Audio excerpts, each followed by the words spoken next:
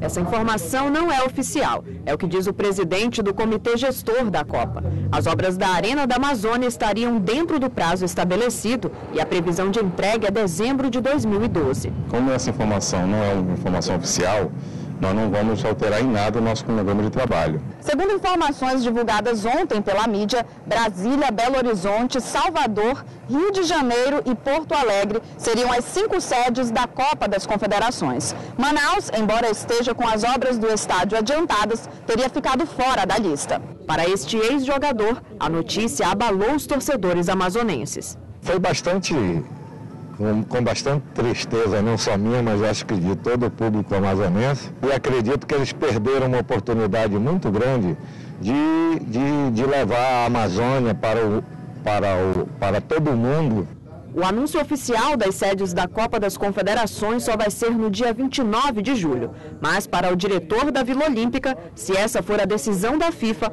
Manaus já deve pensar em outras possibilidades, como sediar os encontros dos sorteios da Copa de 2014.